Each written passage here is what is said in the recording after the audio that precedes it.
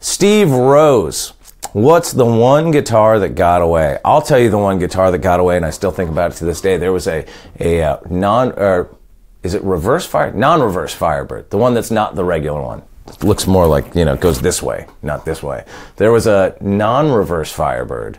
Um, at a at a guitar store in Stockholm that I saw years ago, and the whole thing was gold, like a like a gold top. It was like gold top paint, and I'd never seen seen one like that. It was the, the headstock, the neck, everything, uh, and it was so beautiful.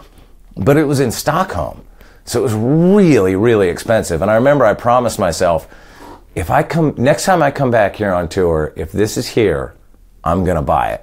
And I came back a few years later on tour, and it was still there and I still didn't buy it because it was even more expensive by then. And then I came back another time and it was gone. So that one to me, I really should have bought that guitar. It was beautiful and unlike any other uh, non-reverse Firebird I've ever seen. And as probably many of you know, I have a fondness for the, that particular shape and that particular guitar. Okay, Keef 5150.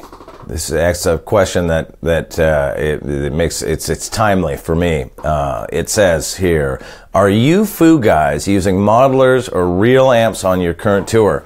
We are using real amps on stage, but I have been messing quite a bit with. Um, with with amp modelers lately. I've been touring in my solo thing with a Strymon Iridium. On this show, I generally use uh, a Line Six Helix.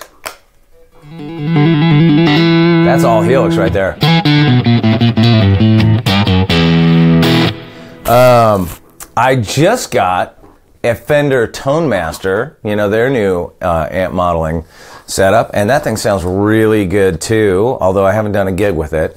And, um, and, and I also just got a, a, neural quad cortex, which is fantastic. So yeah, um, I like them. I think it's great. I don't know that I would use one in Foos necessarily because we have like a great crew and a big stage, and it sounds good to have real amps. But for my crummy little van tours, I'm amp modeler all the way. It's easy and it's consistent. And then in a related question, Sarah Moores asks, is the trend towards silent stages, digital modelers, in-ears, etc., neutering the electric guitar as we know it? That is a great question. I think didn't Joe Bonamassa just say something about that recently? Didn't he have a didn't he have a quote about that? It probably is in some regard, but it's also I don't know. I think it's really fun and kind of inspiring. I'm I fought the in-ear thing, as you can see, I've got in-ears on right now. How much can you see the detail? Can you see the Arsenal logo on my in-ears? Is that like I don't know if, if that shows through on this video. Arsenal.